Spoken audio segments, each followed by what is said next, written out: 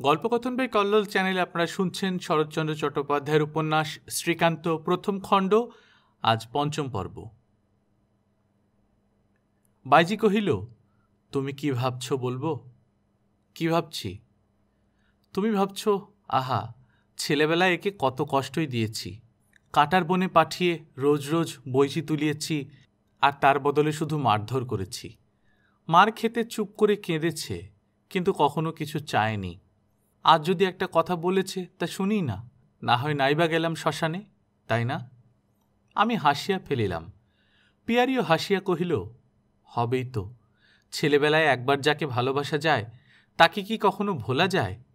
সে একটা অনুরোধ করলে কেউ কি কখনো পায়ে ঠেলে যেতে পারে? এমন নিষ্ঠুর সংসারে আর কে আছে? চলো, একটু বসি গে, অনেক কথা আছে। রতন, বাবুর বুটটা খুলে দিয়ে যা রে। হাসছ যে? হাসছি, কি করে তোমরা মানুষ ভুলিয়ে বস করো? তাই দেখে। পিয়ারিও হাসিল, কহিল, তাই বই কি? পরকে কথায় ভুলিয়ে বস করা যায়। কিন্তু জ্ঞান হওয়া পর্যন্ত নিজেই যার বশ হয়ে আছি, তাকেও কি কথায় ভোলানো যায়? আচ্ছা আজই না হয় কথা কইছি। কিন্তু প্রত্যহ কাঁটায় ক্ষতবিক্ষত হয়ে যখন বইচির মালা গেঁথে দিতুম, তখন কটা কথা কয়েছিলুম শুনি? সে কি তোমার মারের ভয় নাকি? মনেও করো না। সে মেয়ে রাজলক্ষ্মী নয়।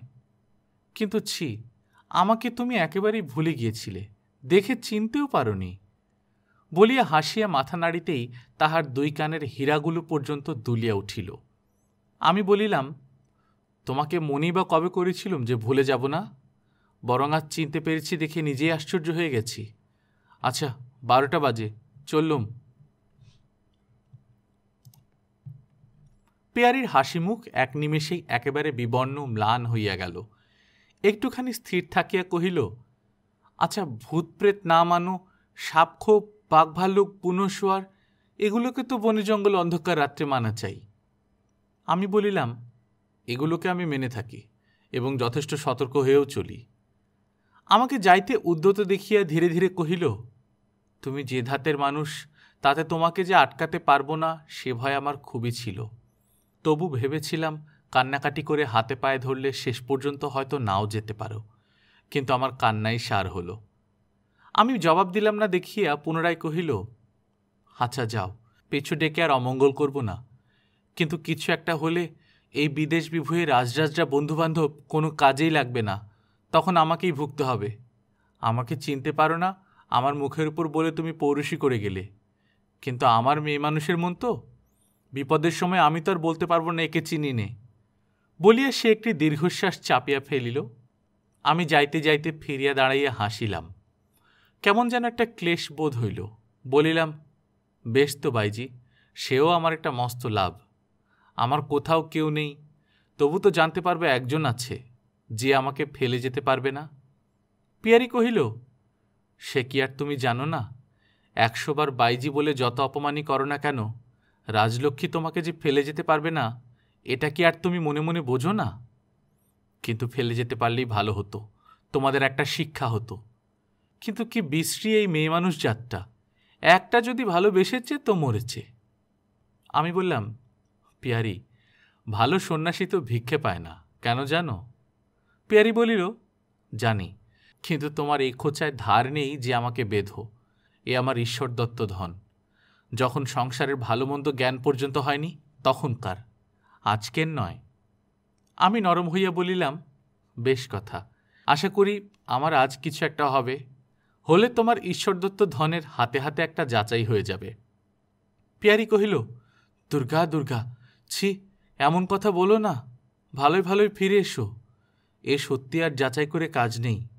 আমার কি সেই কপাল যে নিজের হাতে নেড়ে চেড়ে সেবা করে দুঃসময়ে তোমাকে সুস্থ সবল করে তুলব? তাহলে তো জানতুম এই জন্মের একটা কাজ করে নিলুম। বলিয়া সে যে মুখ ফিরাইয়া অশ্রু গোপন করিল, তাহা হ্যারিকেনের ক্ষীণ আলোতেও টের পাইলাম। আচ্ছা ভগবান তোমার এসাদ হয়তো একদিন পূর্ণ করে দেবেন। বলিয়া আমি আর দেরি না করিয়া তাঁবুর বাহিরে আসিয়া পড়িলাম। তামাশা করিতে গিয়া যে মুখ দিয়া একটা প্রচণ্ড সত্য বাহির হইয়া গেল, সে কথা তখন আর কে ভাবিয়াছিল? তাঁবুর ভেতর হইতে অশ্রু বিকৃত কণ্ঠের দুর্গা দুর্গা নামের সকাতর ডাক কানে আসিয়া পৌঁছিল। আমি দ্রুত পদে শ্মশানের পথে প্রস্থান করিলাম। সমস্ত মনটা পিয়ারির কথাতেই আচ্ছন্ন হইয়া রহিল। কখন যে আমবাগানের দীর্ঘ অন্ধকার পথ পার হইয়া গেলাম, কখন নদীর ধারের সরকারি বাঁধের উপর আসিয়া পড়িলাম, জানিতেই পারিলাম না। সমস্ত পথটা শুধু এই একটা কথাই ভাবিতে ভাবিতে আসিয়াছি। এ কি বিরাট অচিন্তনীয় ব্যাপার এই নারীর মনটা? কবে যে এই পিলেরোগা মেয়েটা তাহার ধামার মতো পেট এবং কাঠির মতো হাত পা লইয়া আমাকে প্রথম ভালোবাসিয়াছিল এবং বৈঁচি ফলের মালা দিয়া তাহার দরিদ্র পূজা নীরবে সম্পন্ন করিয়া আসিতেছিল, আমি টেরও পাই নাই। যখন টের পাইলাম, তখন বিস্ময়ের আর অবধি রহিল না। বিস্ময় সেজন্যও নয়, নভেল নাটকেও বাল্যপ্রণয়ের কথা অনেক পড়িয়াছি।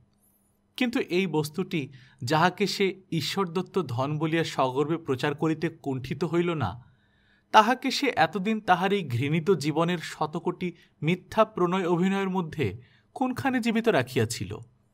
কোথা হইতে ইহাদের খাদ্য সংগ্রহ করিত? কোন পথে প্রবেশ করিয়া তাহাকে লালন পালন করিত?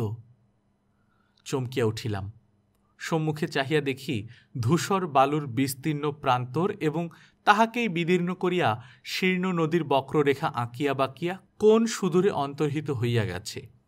সমস্ত প্রান্তর ব্যাপিয়া এক একটা কাঁশের ঝোপ। অন্ধকারে হঠাৎ মনে হইল, এগুলো যেন এক একটা মানুষ। আজিকার এই ভয়ঙ্কর অমানিসায় প্রেতাত্মার নৃত্য দেখিতে আমন্ত্রিত হইয়া আসিয়াছে। এবং বালুকার আস্তরণের উপর যে যাহার আসন গ্রহণ করিয়া নীরবে প্রতীক্ষা করিতেছে। মাথার উপর নিবিড় কালো আকাশ সংখ্যাতীত গ্রহতারকাও আগ্রহের চোখ মেলিয়া চাহিয়াছে। হাওয়া নাই, শব্দ নাই, নিজের বুকের ভেতরটা ছাড়া যত দূর চোখ যায়, কোথাও এতটুকু প্রাণের সাড়া পর্যন্ত অনুভব করিবার জো নাই। যে রাত্রিচর পাখিটা একবার বাপ বলিয়াই থামিয়াছিল, সেও আর কথা কহিল না। পশ্চিম মুখে ধীরে ধীরে চলিলাম, এই দিকেই সেই মহাশ্মশান। একদিন শিকারে আসিয়া সেই যে শিমুল গাছগুলা দেখিয়া গিয়াছিলাম কিছু দূরে আসিতেই তাহাদের কালো কালো ডালপালা চোখে পড়িল। ইহারাই মহাশ্মশানের দ্বারপাল। ইহাদের অতিক্রম করিয়া যাইতে হইবে। এইবার অতি অস্ফুট প্রাণের সাড়া পাইতে লাগিলাম। কিন্তু তাহা আহ্লাদ করিবার মতো নয়। আরও একটু অগ্রসর হইতে তাহা পরিস্ফুট হইল। এক একটা মা কুম্ভকর্ণের ঘুম ঘুমাইলে তাহার কচি ছেলেটা কাঁদিয়া কাঁদিয়া শেষকালে নির্জীব হইয়া যে প্রকারে রহিয়া রহিয়া কাঁদে ঠিক তেমনি করিয়া শ্মশানের একান্ত হইতে কে যেন কাঁদিতে লাগিল। যে এ ক্রন্দনের ইতিহাস জানে না এবং পূর্বে শুনে নাই, সে যে এই গভীর অমানিসায় একাকী সেদিকে আর এক পা অগ্রসর হইতে চাহিবে না, তাহা বাজি রাখিয়া বলিতে পারি।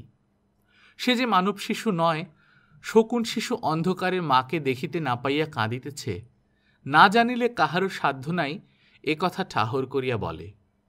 আরও কাছে আসিতে দেখিলাম, ঠিক তাই বটে। কালো কালো ঝুড়ির মতো শিমুলের ডালে ডালে অসংখ্য শকুন রাত্রিবাস করিতেছে, এবং তাহাদেরই কোনো একটা দুষ্ট ছেলে অমন করিয়া আর্ত কণ্ঠে কাঁদিতেছে। গাছের ওপরে সে কাঁদিতেই লাগিল, আমি নিচে দিয়া অগ্রসর হইয়া ওই মহাশ্মশানের এক প্রান্তে আসিয়া দাঁড়াইলাম। সকালে তিনি যে বলিয়াছিলেন লক্ষ নরমুণ্ড গনিয়া লওয়া যায়? দেখিলাম কথাটা নিতান্ত অত্যুক্তি নয়। সমস্ত স্থানটাই প্রায় নরকঙ্কালে খচিত হইয়াছে। গেন্ডুয়া খেলিবার নরকপাল অসংখ্য পড়িয়াছে, তবে খেলোয়াড়েরা তখনও আসিয়া জুটিতে পারে নাই। আমি ছাড়া আর কোনো অশরীরী দর্শক তথায় উপস্থিত ছিলেন কিনা, এই দুটা নশ্বর চক্ষে আবিষ্কার করিতে পারিলাম না। তখন ঘোর অমাবস্যা, সুতরাং খেলা শুরু হইবার আর বেশি দেরি নাই আশা করিয়া একটা বালুর ঢিপির উপর চাপিয়া বসিলাম। বন্দুকটা খুলিয়া টোটাটা আরেকবার পরীক্ষা করিয়া, পুনরায় যথাস্থানে সন্নিবিষ্ট করিয়া কোলের উপর রাখিয়া প্রস্তুত হইয়া রহিলাম। হায় রে টোটা, বিপদের সময় কিন্তু সে কোনো সাহায্য করিল না। পেয়ারের কথাটা মনে পড়িল। সে বলিয়াছিল, যদি অকপটে বিশ্বাসী করো না, তবে কর্মভোগ করিতে যাওয়া কেন? আর যদি বিশ্বাসের জোর না থাকে, তাহা হইলে ভূতপ্রেত থাক বা না থাক, তোমাকে কিছুতেই যাইতে দিব না। সত্যই তো, এ কি দেখিতে আসিয়াছি?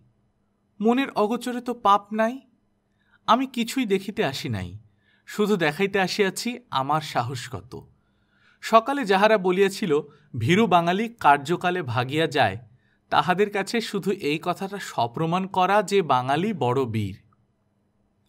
আমার বহুদিনের দৃঢ় বিশ্বাস, মানুষ মরিলে আর বাঁচে না। এবং যদি বা বাঁচে, যে শ্মশানে তাহার পার্থিব দেহটাকে অশেষ প্রকারে নিপীড়িত করা হয়, সেইখানেই ফিরিয়া নিজের মাথাটায় লাথি মারিয়া মারিয়া গড়াইয়া বেড়াইবার ইচ্ছা হওয়া তাহার পক্ষে স্বাভাবিকও নয় উচিত নয়। অন্তত আমার পক্ষে তো নয়। তবে কিনা মানুষের রুচি ভিন্ন? যদি বা কাহার হয়, তাহা হইলে এমন একটা চমৎকার রাত্রি জাগিয়া আমার এত দূরে আসাটা নিষ্ফল হইবে না। অথচ এমনি একটা গুরুতর আশাই আজিকার প্রবীণ ব্যক্তিটি দিয়াছিলেন। হঠাৎ একটা দমকা বাতাস কতগুলো ধুলাবালি উড়াইয়া গায়ের উপর দিয়া বহিয়া গেল এবং সেটা শেষ না হইতেই আর একটা এবং আর একটা বহিয়া গেল। মনে হইল, হে আবার কি? এতক্ষণ তো বাতাসের লেশমাত্র ছিল না। যতই কেননা বুঝি এবং বুঝাই, মরণের পরেও যে কিছু একটা অজানা গোছের থাকে এই সংস্কার হাড়ে মাসে জড়ানো। যতক্ষণ হাড় মাস আছে, ততক্ষণ সেও আছে, তাহাকে স্বীকার করি আর না করি। সুতরাং এই দমকা বাতাসটা শুধু ধুলাবালি উড়াইল না, আমার মজ্জাগত সেই গোপন সংস্কারে গিয়াও ঘা দিল। ক্রমশ ধীরে ধীরে একটু বেশ জোরে হাওয়া উঠিল। অনেকেই হয়তো জানে না যে মরার মাথার ভেতর দিয়া বাতাস বহিলে ঠিক দীর্ঘশ্বাস ফেলা গোছের শব্দ হয়। দেখিতে দেখিতে আশেপাশে সম্মুখে পিছনে দীর্ঘশ্বাসের যেন ছড়াছড়ি পড়িয়া গেল।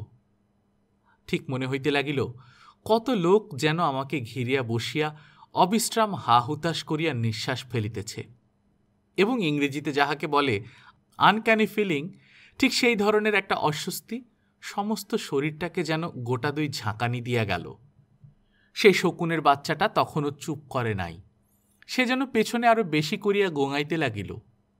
বুঝিলাম, ভয় পাইয়াছি। বহু অভিজ্ঞতার ফলে বেশ জানিতাম এই যে স্থানে আসিয়াছি, এখানে এই বস্তুটাকে সময়ে চাপিতে না পারিলে মৃত্যু পর্যন্ত অসম্ভব ব্যাপার নয়। বস্তুত এইরূপ ভয়ানক জায়গায় ইতিপূর্বে আমি কখনো একাকী আসি নাই। একাকী যে স্বচ্ছন্দে আসিতে পারিত, সে ইন্দ্র, আমি নই। অনেকবার তাহার সঙ্গে অনেক ভয়ানক স্থানে গিয়া গিয়া আমার একটা ধারণা জন্মিয়াছিল যে ইচ্ছা করিলে আমিও তাহার মতো এইসব স্থানে একাকী আসিতে পারি। কিন্তু সেটা যে কত বড় ভ্রম এবং আমি যে শুধু ঝোঁকের উপরেই তাহাকে অনুসরণ করিতে গিয়েছিলাম, এক মুহূর্তেই আজ তাহা স্পষ্ট হইয়া উঠিল। আমার সেই চড়া বুক কই? আমার সে বিশ্বাস কোথায়?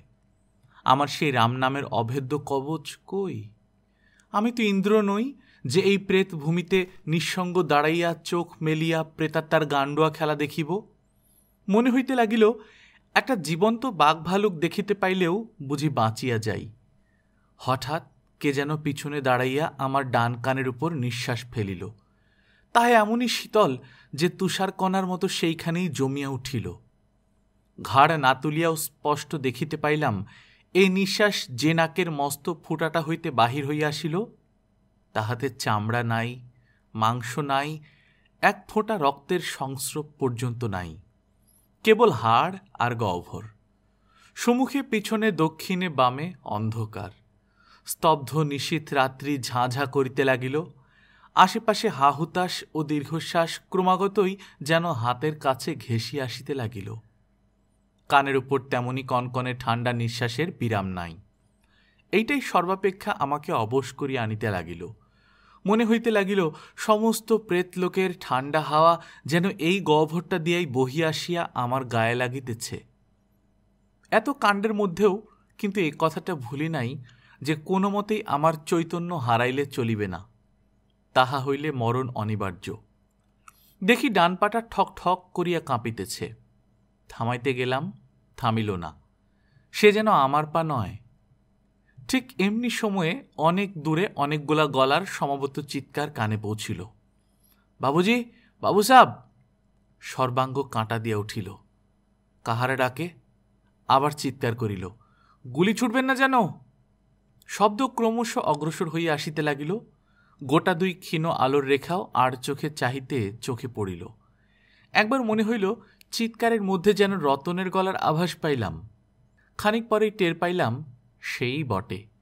আর কিছুদূর অগ্রসর হইয়া সে একটা শিমুলের আড়ালে দাঁড়াইয়া চেঁচাইয়া বলিল, বাবু, আপনি যেখানেই থাকুন গুলি টুলি ছুড়বেন না, আমরা রতন। রতন লোকটা যে সত্যি নাপিত, তাহাতে আর ভুল নাই। উল্লাসে চেঁচাইয়া সাড়া দিতে গেলাম, কিন্তু স্বর ফুটিল না। একটা প্রবাদ আছে, ভূতপ্রেত যাবার সময় কিছু একটা ভাঙিয়া দিয়া যায়। যে আমার পিছনে ছিল সে আমার কণ্ঠস্বরটা ভাঙিয়া দিয়াই বিদায় হইল। রতন এবং আরও তিনজন লোক গোটা দুই লণ্ঠন ও লাঠি সোঁটা হাতে করিয়া কাছে আসিয়া উপস্থিত হইল। এই তিনজনের মধ্যে একজন ছোট্টুলাল, সে তবলা বাজায়, এবং আরেকজন পিয়ারির দারোয়ান। তৃতীয় ব্যক্তি গ্রামের চৌকিদার। রতন কহিল, চলুন, তিনটে বাজে। চলো। বলিয়া আমি অগ্রসর হইলাম। পথে যাইতে যাইতে রতন বলিতে লাগিল, বাবু ধন্য আপনার সাহস। আমরা চারজনে যে কত ভয়ে ভয়ে এসেছি, তা বলতে পারিনি। এলি কেন? রতন কহিল, টাকার লোভে। আমরা সবাই এক মাসের মাইনে নগদ পেয়ে গেছি। বলি, আমার পাশে আসিয়া গলা খাটো করিয়া বলিতে লাগিলেন, বাবু, আপনি চলে এলে গিয়ে দেখি মা বসে বসে কাঁদছেন। আমাকে বললেন, রতন, কি হবে বাবা? তোরা পেছনে যা। আমি এক এক মাসের মাইনে তোদের বকশিস দিচ্ছি। আমি বললুম, ছোট্টলাল আর গণেশকে সঙ্গে নিয়ে আমি যেতে পারি মা, কিন্তু পথ চিনি নে। এমন সময় চৌকিদার হাঁক দিতেই মা বললেন, ওকে ডেকে আন রতন, ও নিশ্চয়ই পথ চেনে। বেরিয়ে গিয়ে ডেকে আনলুম। চৌকিদার ছ টাকা হাতে পেয়ে তবে আমাদের পথ দেখিয়ে নিয়ে আসে। আচ্ছা বাবু, কচি ছেলের কান্না শুনতে পেয়েছেন? বলিয়া রতন শিহরিয়া উঠিয়া আমার কোটের পেছনটা চাপিয়া ধরিল। কহিল, আমাদের গণেশ পাড়ে বামুন মানুষ, তাই আজ রক্ষে পাওয়া গেছে। নইলে? আমি কথা কহিলাম না, প্রতিবাদ করিয়া কাহারও ভুল ভাঙিবার মতো মনের অবস্থা আমার ছিল না। আচ্ছন্ন অভিভূতের মতো নিঃশব্দে পথ চলিতে লাগিলাম। কিছুদূর আসার পর রতন প্রশ্ন করিল, আজ কিছু দেখতে পেলেন বাবু? আমি বলিলাম, না। আমার এই সংক্ষিপ্ত উত্তরে রতন ক্ষুব্ধ হইয়া কহিল, আমরা যাওয়ায় আপনি কি রাগ করেছেন বাবু? মার কান্না দেখলে কিন্তু আমি তাড়াতাড়ি বলে উঠিলাম না রতন আমি একটুও রাগ করিনি। তাঁবুর কাছাকাছি আসিয়া চৌকিদার তাহার কাজে চলিয়া গেল। গণেশ ছোট্টলাল চাকরদের তাঁবুতে প্রস্থান করিল। রতন কহিল, মা বলেছিলেন যাবার সময় একটিবার দেখা দিয়ে যেতে। থমকিয়া দাঁড়াইলাম। চোখের ওপর যেন স্পষ্ট দেখিতে পাইলাম, পিয়ারি দ্বীপের সম্মুখে অধীর আগ্রহে সজল চক্ষে বসিয়া প্রতীক্ষা করিয়াছে এবং আমার সমস্ত মনটা উন্মত্ত ঊর্ধ্বশ্বাসে তাহার পানে ছুটিয়া চলিয়াছে। রতন সবিনয়ে ডাকিল, আসুন। মুহূর্তকালের জন্য চোখ বুঝিয়া নিজের অন্তরের মধ্যে ডুব দিয়া দেখিলাম, সেখানে প্রকৃতিস্থ কেহ নাই। সবাই আকণ্ঠ মদ খাইয়া মাতাল হইয়া উঠিয়াছে। ছি ছি, এই মাতালের দল লইয়া যাইব দেখা করিতে? সে আমি কিছুতেই পারি না। বিলম্ব দেখিয়া রতন বিস্মিত হইয়া কহিল, ওখানে অন্ধকারে দাঁড়ালেন কেন বাবু? আসুন। আমি তাড়াতাড়ি বলিয়া ফেলিলাম, না রতন, এখন নয়, আমি চললুম। রতন ক্ষুণ্ণ হইয়া কহিল, মা কিন্তু পথ চেয়ে বসে আছেন। পথ চেয়ে? তা হোক, তাকে আমার অসংখ্য নমস্কার দিয়ে বলো, কাল যাবার আগে দেখা হবে, এখন নয়। আমার বড় ঘুম পেয়েছে রতন, আমি চললুম। বলিয়া বিস্মিত ক্ষুব্ধ রতনকে জবাব দিবার সময়মাত্র না দিয়া দ্রুত পদে ওদিকের তাঁবুর দিকে চলিয়া গেলাম। মানুষের অন্তর জিনিসটিকে চিনিয়া লইয়া তাহার বিচারের ভার অন্তর্জামের উপর না দিয়া মানুষ যখন নিজেই গ্রহণ করিয়া বলে, আমি এমন, আমি তেমন, এ কাজ আমার দ্বারা কদাচ ঘটিত না, সে কাজ আমি মরিয়া গেলেও করিতাম না। আমি শুনিয়ার লজ্জায় বাঁচি না। আমার শুধু নিজের মনটাই নয়, পরের সম্বন্ধেও দেখি, তাহার অহংকারের অন্ত নাই। একবার সমালোচকের লেখাগুলো পড়িয়া দেখো, হাসিয়া আর বাঁচিবে না। কবিকে ছাপাইয়া তাহারা কাব্যের মানুষটিকে চিনিয়া লয়। জোর করিয়া বলে, এই চরিত্র কোনো মতেই ওরূপ হইতে পারে না। সে চরিত্র কখনো সেরূপ করিতে পারে না। এমনি কত কথা। লোকে বাউভা দিয়ে বলে বা রে বা এই তো ক্রিটিসিজম। একেই তো বলে চরিত্র সমালোচনা। সত্যই তো, অমুক সমালোচক বর্তমান থাকিতেই ছাই পাঁচ যা তা লিখলেই কি চলিবে? এই দেখো, বইখানার কত ভুল ভ্রান্তি সমস্ত তন্নতন্ন করিয়া ধরিয়া দিয়াছে। তাদিক, ত্রুটি আর কিসে না থাকে। কিন্তু তবুও যে আমি নিজের জীবন আলোচনা করিয়া এসব পড়িয়া তাহাদের লজ্জায় আপনার মাথা তুলিতে পারি না। মনে মনে বলি, হারে পোড়া কপাল, মানুষের অন্তর জিনিসটা যে অনন্ত, সে কি শুধু একটা মুখেরই কথা? দম্ভ প্রকাশের বেলায় কি তাহার কানাকড়ির মূল্য নাই? তোমার কোটি কোটি জন্মের কত অসংখ্য কোটি অদ্ভুত ব্যাপার যে এই অনন্তে মগ্ন থাকিতে পারে। এবং হঠাৎ জাগরিত হইয়া তোমার ভূ দর্শন তোমার লেখাপড়া, তোমার মানুষ বাছাই করিবার জ্ঞান ভাণ্ডটুকু এক মুহূর্তে গুড়া করিয়া দিতে পারে। এই কথাটা কি একবারও মনে পড়ে না? এও কি মনে পড়ে না এটা সীমাহীন আত্মার আসন? এই তো, আমি অন্নদা দিদিকে সচক্ষে দেখিয়াছি। তাহার অম্লান দিব্যমূর্তি তো এখনও ভুলিয়া যায় নাই। দিদি যখন চলিয়া গেলেন, তখন কত গভীর স্তব্ধ রাত্রে চোখের জলে বালিশ ভিজিয়া গিয়াছে। আর মনে মনে বলিয়াছি, দিদি, নিজের জন্য আর ভাবি না। তোমার পরশমানিক স্পর্শে আমার অন্তর্বাহিরের সব লোহা সোনা হইয়া গিয়াছে। কোথাকার কোনো জল হাওয়ার দৌড়াতেই আর মরিচা লাগিয়া ক্ষয় পাইবার ভয় নাই। কিন্তু কোথায় গেলে তুমি, দিদি? দিদি, আর কাহাকেও এই সৌভাগ্যের ভাগ দিতে পারিলাম না। আর কেহ তোমাকে দেখিতে পাইল না। পাইলে যে যেখানে আছে, সবাই যে সচ্চরিত্র সাধু হইয়া যাইত, তাহাতে আমার লেশমাত্র সন্দেহ ছিল না। কি উপায়ে ইহা সম্ভব হইতে পারিত? তখন এ লইয়া সারা রাত্রি জাগিয়া ছেলে মানুষী কল্পনার বিরাম ছিল না। কখনো ভাবিতাম, দেবী চৌধুরানীর মতো যদি কোথাও সাত ঘড়া মোহর পাই, তো অন্নদা দিদিকে একটা মস্ত সিংহাসনে বসাই। বন কাটিয়া, জায়গা করিয়া, দেশের লোক ডাকিয়া তার সিংহাসনের চতুর্দিকে জড়ো করি। কখনো ভাবিতাম একটা প্রকাণ্ড বজরায় চাপাইয়া, ব্যান্ড বাজাইয়া তাহাকে দেশ বিদেশ লইয়া বেড়াই।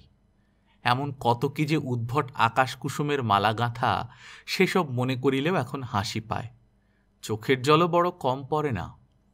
তখন মনের মধ্যে এই বিশ্বাস হিমাচলের মতো দৃঢ় ছিল। আমাকে ভুলাইতে পারে এমন নারী তো ইহলোকে নাই, পরলোকে আছে কিনা তাহাও যেন ভাবিতে পারিতাম না। মনে করিতাম, জীবনে যদি কখনো কাহারও মুখে এমনি মৃদু কথা, ঠোঁটে এমনি মৃদু হাসি, ললাটে এমনি অপরূপ আভা, চোখে এমনি সজল করুণ চাহনি দেখি, তবে চাহিয়া দেখিব। যাহাকে মন দিব, সেও যেন এমনি সতী, এমনি সাধ্বী হয়। প্রতি পদক্ষেপে তাহারও যেন এমনি অনির্বচনীয় মহিমা ফুটিয়া ওঠে। এমনি করিয়া সেও যেন সংসারের সমস্ত সুখ, দুঃখ, সমস্ত ভালো মন্দ সমস্ত ধর্মাধর্ম ত্যাগ করিয়াই গ্রহণ করিতে পারে। সেই তো আমি। তবু আজ সকালে ঘুম ভাঙার সঙ্গে সঙ্গেই কাহার মুখের কথা, কাহার ঠোঁটের হাসি, কাহার চোখের জল মনে পড়িয়া বুকের একান্তে একটুখানি ব্যথা বাজিল। আমার সন্ন্যাসিনী দিদির সঙ্গে কোথাও কোনো অংশে কি তাহার বিন্দু পরিমাণও সাদৃশ্য ছিল? অথচ এমনিই বটে। ছয়টা দিন আগে আমার অন্তর্জামে আসিয়াও যদি কথা বলিয়া যাইতেন, আমি হাসিয়া উড়াইয়া দিয়া বলিতাম অন্তর্জামী তোমার এই শুভকামনার জন্য তোমাকে সহস্র ধন্যবাদ। কিন্তু তুমি তোমার কাজে যাও। আমার জন্য চিন্তা করিবার আবশ্যকতা নাই। আমার বুকের কোষ্টি পাথরে পাকা সোনার কষ ধরানো আছে। সেখানে পিতলের দোকান খুলিলে খরিদ্দার জুটিবে না। কিন্তু তবু তো খরিদ্দার জুটিল। আমার অন্তরের মধ্যে যেখানে অন্নদা দিদির আশীর্বাদে পাকা সোনার ছড়াছড়ি তার মধ্যেও যে এক দুর্ভাগা পিতলের লোভ সামলাইতে পারিল না কিনিয়া বসিল? এ কি কম আশ্চর্যের কথা? আমি বেশ বুঝিতেছি। যারা খুব কড়া সমজদার তারা আমার আত্মকথার এখানে অধীর হইয়া বলিয়া উঠিবেন, বাপু, এত ফেনিয়ে কি বলতে চাও তুমি? বেশ স্পষ্ট করেই বলো না সেটা কি? আজ ঘুম ভাঙিয়াই পিয়ারির মুখ মনে করিয়া তোমার ব্যথা বাজিয়াছিল, এই তো? যাহাকে মনের দোরগোড়া হইতে ঝাঁটাইয়া বিদায় করিতেছিলে এখন তাহাকেই ডাকিয়া ঘরে বসাইতে চাহিতেছ। এই তো? তা বেশ, এ যদি সত্যি হয়, তবে এর মধ্যে তোমার অন্নদা দিদির নামটা আর তুলিও না। কারণ তুমি যত কথা যেমন করিয়াই সাজাইয়া বলো না কেন, আমরা মানব চরিত্র বুঝি। জোর করিয়া বলিতে পারি, তোমার সেই সতী সাধ্বীর আদর্শ তোমার মনের মধ্যে স্থায়ী হয় নাই। তাহাকে তোমার সমস্ত মন দিয়া কশ্চিনকালেও গ্রহণ করিতে পারো নাই। পারিলে এই ঝুটাই তোমাকে ভুলাইতে পারিত না। তা বটে, তর্ক আর নয়। আমি টের পাইয়াছি মানুষ শেষ পর্যন্ত কিছুতেই নিজের সমস্ত পরিচয় পায় না। সে যা নয় তাই বলিয়া নিজেকে জানিয়ে রাখে এবং বাহিরে প্রচার করিয়া শুধু বিড়ম্বনার সৃষ্টি করে। এবং যে দণ্ড ইহাতে দিতে হয়, তা নিতান্ত লঘুও নয়। কিন্তু থাক, আমি তো নিজে জানি। আমি কোন নারীর আদর্শে এতদিন কি কথা প্রিচ করিয়া বেড়াইয়াছি? সুতরাং আজ আমার এই দুর্গতির ইতিহাস লোকে যখন বলিবে, শ্রীকান্তটা হম্বক, হিপোক্রিট, তখন আমাকে চুপ করিয়াই শুনিতে হইবে। অথচ হিপোক্রিট আমি ছিলাম না, হম্বক করা আমার স্বভাব নয়। আমার অপরাধ শুধু এই যে আমার মধ্যে যে দুর্বলতা আত্মগোপন করিয়াছিল, তাহার সন্ধান রাখি নাই। আজ যখন সে সময় পাইয়া মাথা ঝাড়া দিয়া উঠিয়া তাহারই মতো আরেকটা দুর্বলতাকে সাদরে আহ্বান করিয়া একেবারে অন্দরের মধ্যে লইয়া বসাইয়া দিয়াছে, তখন অসহ্য বিস্ময়ে আমার চোখ দিয়া জল পড়িয়াছে, কিন্তু যাও বলিয়া তাহাকে বিদায় করিয়া দিতে পারি নাই। ইহাও জানিয়াছি, আজ আমার লজ্জা রাখিবার ঠাঁই নাই, কিন্তু পুলক যে হৃদয়ের কানায় কানায় আজ ভরিয়া উঠিয়াছে। লোকসান যা হয় তা হোক হৃদয় যে ইহাকে ত্যাগ করিতে চাহে না। বাবু সাহ রাজভৃত্য আসিয়া উপস্থিত হইল।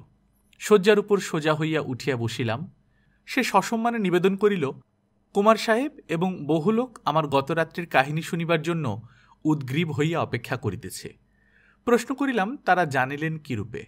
বেহারা কহিল, তাঁবুর দারোয়ান জানাইয়াছে যে আমি রাত্রি শেষে ফিরিয়া আসিয়াছি। হাত মুখ ধুইয়া কাপড় ছাড়িয়া বড় তাঁবুতে প্রবেশ করিবা মাত্রই সকলে হৈ হৈ করিয়া চিৎকার করিয়া উঠিল। একসঙ্গে এক লক্ষ প্রশ্ন হইয়া গেল।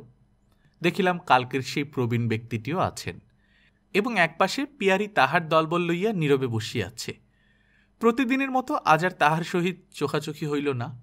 সে যেন ইচ্ছা করিয়াই আরেকদিকে চোখ ফিরাইয়া বসিয়াছিল উচ্ছ্বসিত প্রশ্ন তরঙ্গ শান্ত হইয়া আসিলে জবাব দিতে শুরু করিলাম কুমারজি কহিলেন, ধন্য সাহস তোমার শ্রীকান্ত।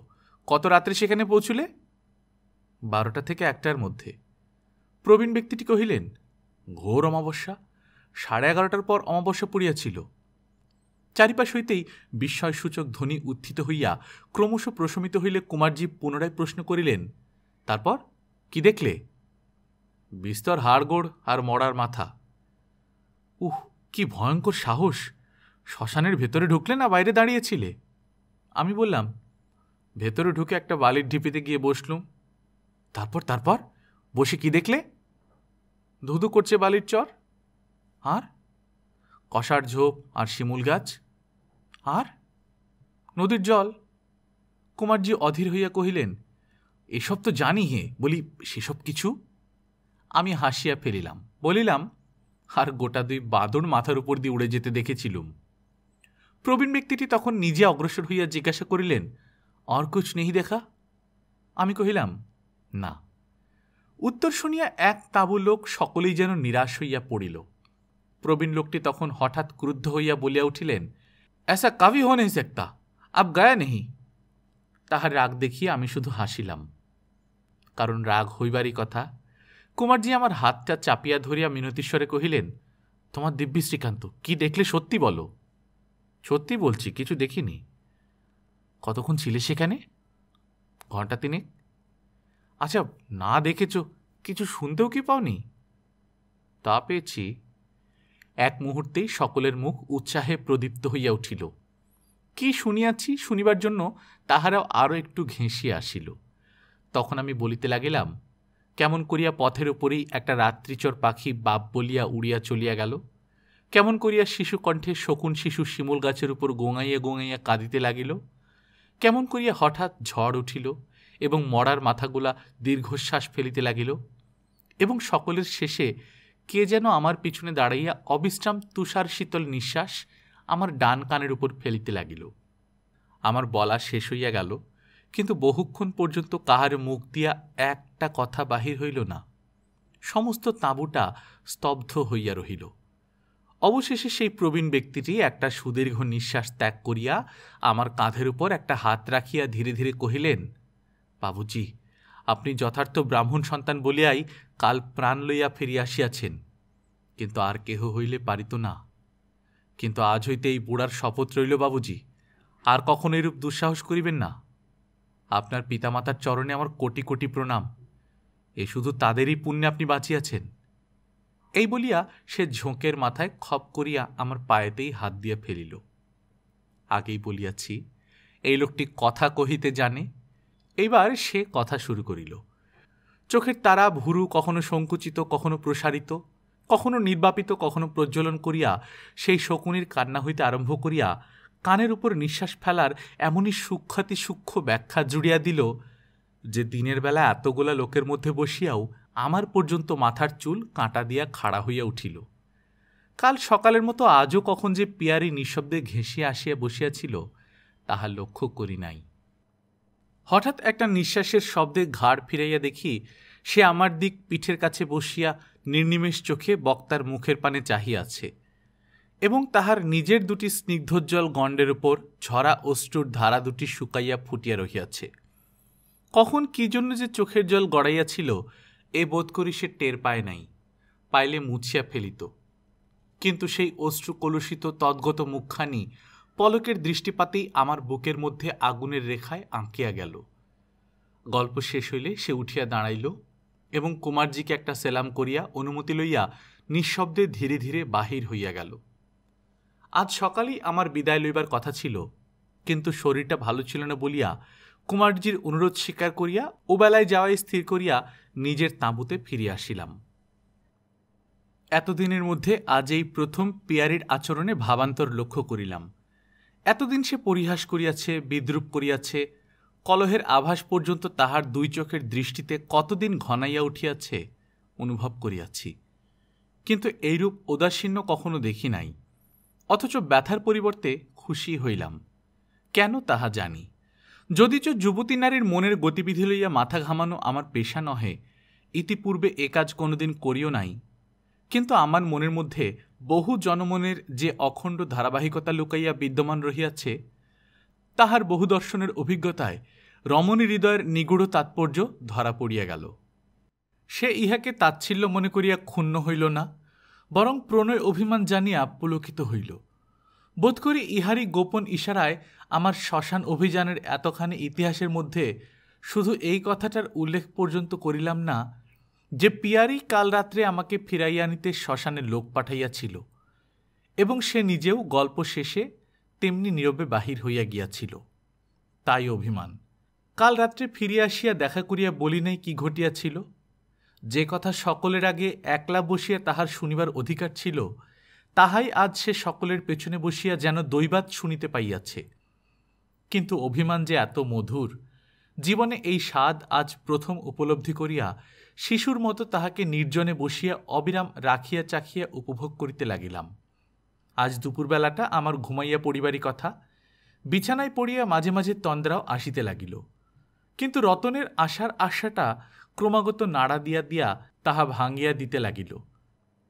এমনই করিয়া বেলা গড়াইয়া গেল, কিন্তু রতন আসিল না। সে যে আসিবেই, এ বিশ্বাস আমার মনে এত দৃঢ় ছিল যে বিছানা ছাড়িয়া বাহিরে আসিয়া যখন দেখিলাম সূর্য অনেকখানি পশ্চিমে হেলিয়া পড়িয়াছে, তখন নিশ্চয়ই মনে হইল আমার কোন এক তন্দারার ফাঁকে রতন ঘরে ঢুকিয়া আমাকে নিদ্রিত মনে করিয়া ফিরিয়া গেছে।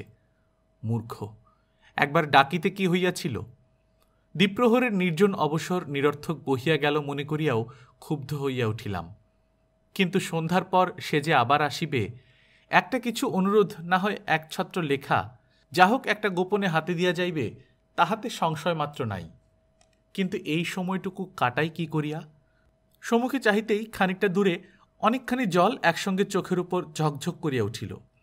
সে কোনো একটা বিস্তৃত জমিদারের মস্ত কীর্তি, দিঘিটা প্রায় আধ ক্রোশ দীর্ঘ।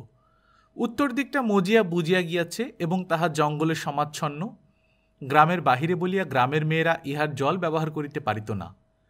কথায় কথায় শুনিয়াছিলাম, এই দিঘিটা যে কতদিনের এবং কে প্রস্তুত করিয়া দিয়াছিল, কেহ তাহা জানে না। একটা পুরানো ভাঙা ঘাট ছিল, তাহারই একান্তে গিয়া বসিয়া পড়িলাম। একসময় ইহারি চতুর্দিক ঘিরিয়া বর্ধিষ্ণু গ্রাম ছিল। কবে নাকি ওলা ওঠায় মহামারীতে উজাড় হইয়া গিয়া বর্তমান স্থানে সরিয়া গিয়াছে। পরিত্যক্ত গৃহের বহু চিহ্ন চারদিকে বিদ্যমান অস্তগামী সূর্যের তীর্যক রশ্মিচ্ছটা ধীরে ধীরে নামিয়া আসিয়া দিঘির কালো জলে সোনা মাখাইয়া দিল। আমি চাহিয়া বসিয়া রহিলাম। তারপরে ক্রমশ সূর্য ডুবিয়া দিঘির কালো জল আরও কালো হইয়া উঠিল। অদূরে বন হইতে বাহির হইয়া দুই একটা পিপাসাট্ট শ্রীগাল ভয়ে ভয়ে জলপান করিয়া সরিয়া গেল। আমার যে উঠিবার সময় হইয়াছে, যে সময়টুকু কাটাইতে আসিয়াছিলাম, তাহা কাটিয়া গিয়াছে, সমস্ত অনুভব করিয়াও উঠিতে পারিলাম না। এই ভাঙা ঘাট যেন আমাকে জোর করিয়া বসাইয়া রাখিল। মনে হইল এই যেখানে পা রাখিয়া বসিয়াছি, সেখানে পা দিয়া কত লোক কতবার আসিয়াছে, গিয়াছে, এই ঘাটেই তাহারা স্নান করিত, গা ধুইত, কাপড় কাচিত, জল তুলিত। এখন তাহারা কোথাকার কোন জলাশয়ে এই সমস্ত নিত্যকর্ম সমাধা করে? এই গ্রাম যখন জীবিত ছিল, তখন নিশ্চয়ই তাহারা এমনই সময়ে এখানে আসিয়া বসিত। কত গান, কত গল্প করিয়া সারাদিনের শ্রান্তি দূর করিত। তারপর অকস্মাৎ একদিন যখন মহাকাল মহামারী রূপে দেখা দিয়া সমস্ত গ্রাম ছিড়িয়া লইয়া গেলেন, তখন কত মুমূর্ষু হয়তো তৃষ্ণায় ছুটিয়া আসিয়া এই ঘাটের উপরেই শেষ নিঃশ্বাস ত্যাগ করিয়া তাহার সঙ্গে গিয়াছে। হয়তো তাহাদের তৃষ্ণার্ত আত্মা আজও এইখানে ঘুরিয়া বেড়ায়? যাহা চোখে দেখি না, তাহাই যে নাই, এমন কথাই বা কে জোর দিয়া বলিবে? আজ সকালেই সেই প্রবীণ ব্যক্তিটি বলিয়াছিলেন, বাবুজি মৃত্যুর পরে যে কিছুই থাকে না, অসহায় প্রেতার প্রেতাত্মারা যে আমাদের মতোই সুখ, দুঃখ, ক্ষুধা, তৃষ্ণা লইয়া বিচরণ করে না, তাহা কদাচ মনে করিও না। এই বলিয়া তিনি রাজা বিক্রমাদিত্যের গল্প তাল বেতাল সিদ্ধির গল্প, আর কত তান্ত্রিক সাধু সন্ন্যাসীর কাহিনী বিবৃত করিয়াছিলেন। আরও বলিয়াছিলেন যে, সময় এবং সুযোগ হইলে তাহারা যে দেখা দিতে, কথা কহিতে পারে না বা করে না, তাহাও ভাবিও না। তোমাকে আর কখনো সে স্থানে যাইতে বলি না কিন্তু যাহারা এই কাজ পারে, তাহাদের সমস্ত দুঃখ যে কোনোদিন সার্থক হয় না এই কথা স্বপ্নেও অবিশ্বাস করিও না। তখন সকালবেলার আলোর মধ্যে যে কথাগুলো শুধু নিরর্থক হাসির উপাদান আনিয়া দিয়েছিল, এখন এই কথাগুলাই এই নির্জন গাঢ় অন্ধকারের মধ্যে আরেক প্রকার চেহারা লইয়া দেখা দিল। মনে হইতে লাগিল, জগতের প্রত্যক্ষ সত্য যদি কিছু থাকে, তো সে মরণ। এই জীবনব্যাপী ভালো, মন্দ, সুখ, দুঃখের অবস্থাগুলো যেন আতসবাজির বিচিত্র সাজ সরঞ্জামের মতো শুধু একটা কোনো বিশেষ দিনে পুড়িয়া ছাই হইবার জন্যেই এত যত্নে, এত কৌশলে গড়িয়া উঠিতেছে। তবে মৃত্যুর পরপারের ইতিহাসটা যদি কোনো উপায়ে শুনিয়া লইতে পারা যায়, তবে তার চেয়ে লাভ আর কি আছে? তা সে যেই বলুক এবং যেমন করিয়াই বলুক। হঠাৎ কাহার পায়ের শব্দে ধ্যান ভাঙিয়া গেল। ফিরিয়া দেখিলাম শুধু অন্ধকার। কেহ কোথাও নাই। একটা গা ঝাড়া দিয়া উঠিয়া দাঁড়াইলাম। গত রাত্রির কথা স্মরণ করিয়া নিজের মনে হাসিয়া বলিলাম, না, আর বসে থাকা নয়। কাল ডান কানের উপর নিঃশ্বাস ফেলে গেছে। আজ এসে যদি বাঁ কানের উপর শুরু করে দেয়, সে তো বড় সোজা হবে না। কতক্ষণ যে বসিয়া কাটাইয়াছি, এখন রাত্রি ঠিক কত ঠাহর করিতে পারিলাম না। বোধহয় যেন দ্বীপ্রহরের কাছাকাছি। কিন্তু এ কি? চলিয়াছি তো চলিয়াছি এই সংকীর্ণ পায়ে চলা পথ আর শেষ হয় না। এতগুলা তাঁবুর একটা আলো যে চোখে পড়ে না। অনেকক্ষণ হইতে সম্মুখে একটা বাঁশঝাড় দৃষ্টিরোধ করিয়া বিরাজ করিতেছিল। হঠাৎ মনে হইল, কই, এটা তো আসিবার সময় লক্ষ্য করি নাই। দিক ভুল করিয়া তো আরেক দিকে চলি নাই? আরও খানিকটা অগ্রসর হইতে টের পাইলাম, সেটা বাঁশঝাড় নয়। গোটা কয়েক তেঁতুল গাছ জড়াজড়ি করিয়া দিগন্ত আবৃত করিয়া অন্ধকারে জমাট বাঁধাইয়া দাঁড়াইয়া আছে। তাহারই নিচে দিয়া পথটা আঁকিয়া বাঁকিয়া অদৃশ্য হইয়া গিয়াছে। জায়গাটা এমনই অন্ধকার যে নিজের হাতটা পর্যন্ত দেখা যায় না। বুকের ভিতরটা কেমন যেন গুড়গুড় করিয়া উঠিল। এ যাইতেছি কোথায়? চোখ কান বুঝিয়া কোনো মতে সেই তেঁতুলতলাটা পার হইয়া দেখি সম্মুখে অনন্ত কালো আকাশ যতদূর দেখা যায় ততদূর বিস্তৃত হইয়া আছে। কিন্তু সম্মুখে ওই উঁচু জায়গাটা কি? নদীর ধারে সরকারি বাঁধ নয় তো? বাঁধই তো বটে। পা দুটা যেন ভাঙিয়া আসিতে লাগিল, তবুও টানিয়া টানিয়া কোনো মতে তাহার উপর উঠিয়া দাঁড়াইলাম। যা ভাবিয়াছিলাম তাই, ঠিক নিচেই সেই মহাশ্মশান আবার কাহারও পদশব্দ সমুখ দিয়াই নিচে শ্মশানে গিয়া মিলাইয়া গেল। এইবার টলিয়া টলিয়া সেই ধুলাবালোর উপরেই মূর্ছিতের মতো ধপ করিয়া বসিয়া পড়িলাম। আর আমার লেশমাত্র সংশয় রহিল না যে কে আমাকে এক মহাশ্মশান হইতে আরেক মহাশ্মশানে পথ দেখাইয়া পৌঁছাইয়া দিয়ে গেল। সেই যাহার পদশব্দ শুনিয়া ভাঙা ঘাটের উপর গা ঝাড়া দিয়ে উঠিয়া দাঁড়াইয়াছিলাম, তাহার পদশব্দ এতক্ষণ পরে ওই সম্মুখে মিলাইল। সমস্ত ঘটনারই হেতু দেখাইবার জিতটা মানুষের যে বয়সে থাকে, সে বয়স আমার পার হইয়া গেছে। সুতরাং কেমন করিয়াই যে এই সূচিভেদ্য অন্ধকার নিশীথে একাকী পথ চিনিয়া দিঘির ভাঙা ঘাট হইতে এই শ্মশানের উপকণ্ঠে আসিয়া উপস্থিত হইলাম এবং কাহারই বা সেই পদধ্বনি সেখানে আহ্বান ইঙ্গিত করিয়া এইমাত্র সুমুখে মিলাইয়া গেল। এ সকল প্রশ্নের মীমাংসা করিবার মতো বুদ্ধি আমার নাই। পাঠকের কাছে আমার দৈন্য স্বীকার করিতে এখন আর আমি কিছুমাত্র লজ্জাবোধ করিতেছি না। এই রহস্য আজও আমার কাছে তেমনি আধারে আবৃত রহিয়াছে। কিন্তু তাই বলিয়া প্রেতজনী স্বীকার করাটাও এই স্বীকারোক্তির প্রচ্ছন্ন তাৎপর্য নয়। কারণ নিজের চোখেই তো দেখিয়াছি। আমাদের গ্রামেই একটা বৃদ্ধ পাগল ছিল। সে দিনের বেলা বাড়ি বাড়ি ভাত চাহিয়া খাইত আর রাত্রিতে ছোট একটা ময়ের ওপর কোঁচার কাপড়টা তুলিয়া দিয়া সেটা সম্মুখে উঁচু করিয়া ধরিয়া পথের ধারের বাগানের মধ্যে গাছের ছায়ায় ঘুরিয়া বেড়াইত। সে চেহারা দেখিয়া অন্ধকারে কত লোকের যে দাঁত কপাটি লাগিয়াছে তাহার অবধি নাই। কোনো স্বার্থ নাই, অথচ এই ছিল তাহার অন্ধকার রাত্রির কাণ্ড। নিরর্থক মানুষকে ভয় দেখাইবার আরও কত প্রকারের অদ্ভুত ফন্দি যে তাহার ছিল, তাহার সীমা নাই। শুকনো কাঠের আঁটি গাছের ডালে বাঁধিয়া তাহাতে আগুন দিত। মুখে কালিঝুলি মাখিয়া বিশালাক্ষী দেবীর মন্দিরে বহু ক্লেশে খাড়া বাহিয়া উঠিয়া বসিয়া থাকিত। গভীর রাত্রিতে ঘরের কানাচে বসিয়া খোনা গলায় চাষাদের নাম ধরিয়া ডাকিত। অথচ কেহ কোনোদিন তাহাকে ধরিতে পারে নাই। এবং দিনের বেলায় তাহার চাল চলন স্বভাব চরিত্র দেখিয়া ঘুণাগ্রেও তাহাকে সংশয় করিবার কথা কাহারও মনে হয় নাই। আর এ শুধুমাত্র আমাদের গ্রামেই নয়, আট দশখানা গ্রামের মধ্যেই সে এই কর্ম করিয়া বেড়াইত।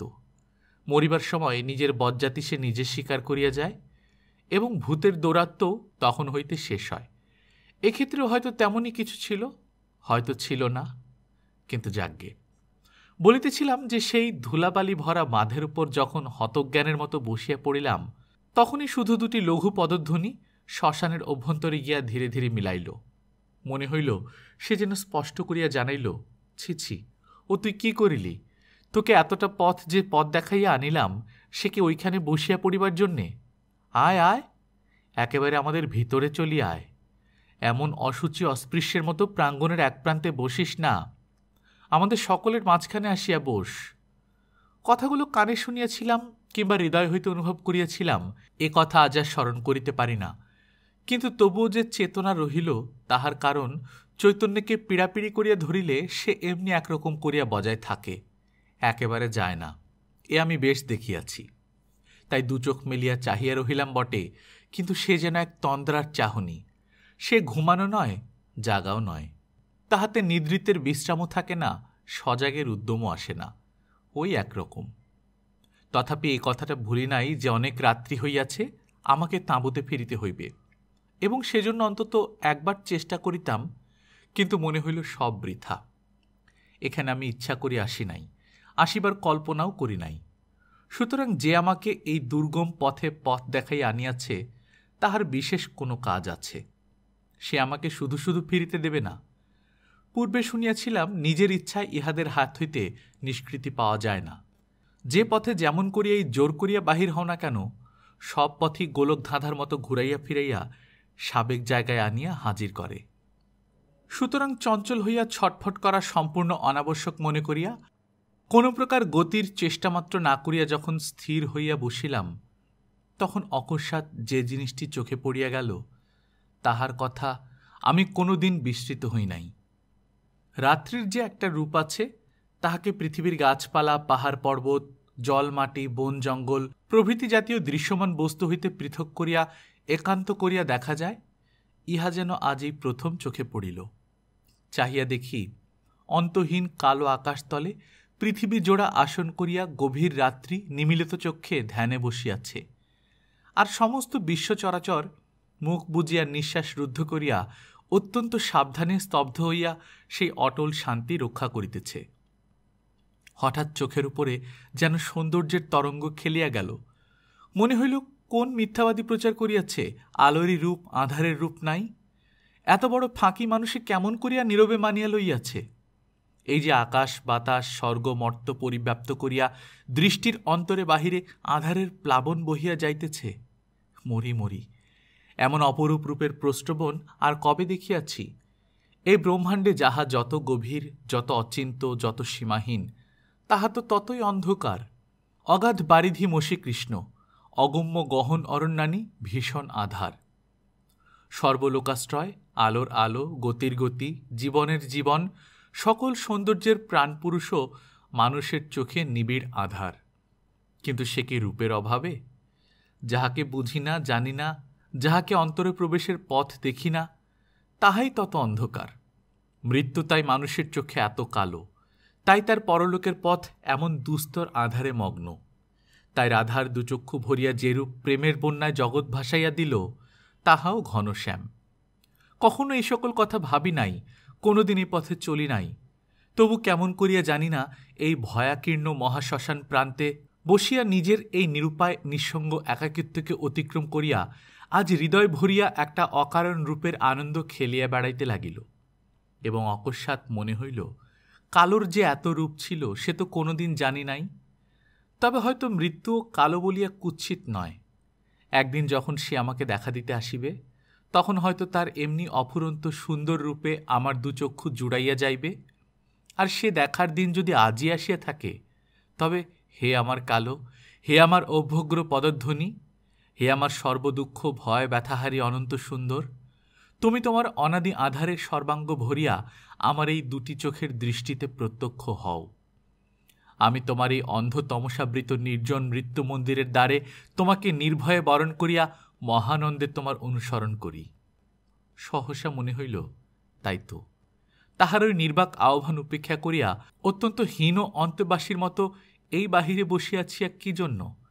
একেবারে ভিতরে মাঝখানে গিয়া বসি না কেন? নামিয়া গিয়া ঠিক মধ্যস্থলে একেবারে চাপিয়া বসিয়া পড়িলাম। কতক্ষণ যে এইভাবে এখানে স্থির হইয়াছিলাম, তখন হুঁশ ছিল না। হুঁশ হইলে দেখিলাম তেমন অন্ধকার আর নাই। আকাশের এক প্রান্ত যেন স্বচ্ছ হইয়া গিয়াছে এবং তাহারই অদূরে শুকতারা দপদপ করিয়া জ্বলিতেছে। একটা চাপা কথাবার্তার কোলাহল কানে গেল। ঠাহর করিয়া দেখিলাম দূরের শিমুল গাছের আড়ালে বাঁধের উপর দিয়া কাহারা যেন চলিয়া আসিতেছে, এবং তাহাদের দুই চারিটা লণ্ঠনের আলোকও আশেপাশে ইতস্তত দুলিতেছে।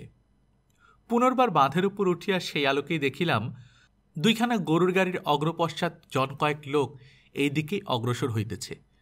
বুঝিলাম কাহারা এই পথে স্টেশনে যাইতেছে। মাথায় সুবুদ্ধি আসিল যে পথ ছাড়িয়া আমার দূরে সরিয়া যাওয়া আবশ্যক, কারণ আগন্তুকের দল যত বুদ্ধিমান এবং সাহসী হোক হঠাৎ এই অন্ধকার রাত্রিতে এইরূপ স্থানে আমাকে একাকী ভূতের মতো দাঁড়াইয়া থাকিতে দেখিলে, আর কিছু না করুক, একটা বিষম হৈ হৈ রই রই চিৎকার তুলিয়া দিবে, তাহাতে আর সংশয় নাই।